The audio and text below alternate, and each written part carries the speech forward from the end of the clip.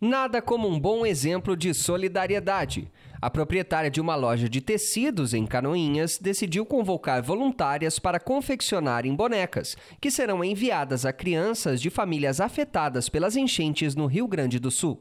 Ela mesma ministrou um curso de como confeccionar os brinquedos e o resultado foram estas bonecas de pano. Muitas se emocionaram e, e assim a minha oma pedi, dizia: vem aqui que eu vou te ensinar a fazer bruxinhas na época, né?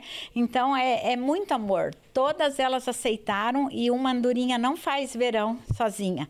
Se essas mulheres não viessem aqui querer aprender e todas essas outras que fizeram o corpo da a roupa das bonecas não ia sair né? E ainda o grupo das bonequeiras também, que vieram ajudar nós. Então deu tudo certo. As bonecas carregam ainda um significado especial para a idealizadora da ação, que incentivou as voluntárias a preenchê-las com afeto e esperança. Eu participei das bonecas, né? Mas as outras meninas ali que fizeram, né, os gaúchos, eu achei muito legal, muito bacana, né? Que ela fez ali, criaram ali uns moldes e fizeram, então ficou muito legal mesmo, né? Então eu eu até brinquei que até os adultos vão gostar desses, dessas bonecas né, e desses bonecos. Então, foi feito com muito amor, com certeza. Que cada um sinta no seu coração é, que possa ajudar, né?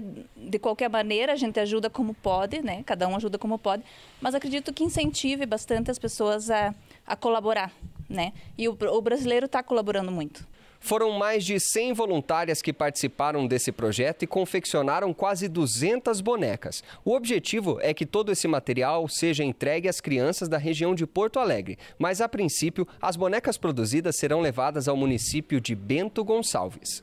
Eu pretendo eu levar. Então eu tenho minha filha que mora em Bento Gonçalves, uma delas, e a outra que vem de Joinville vem comigo e nós vamos levar.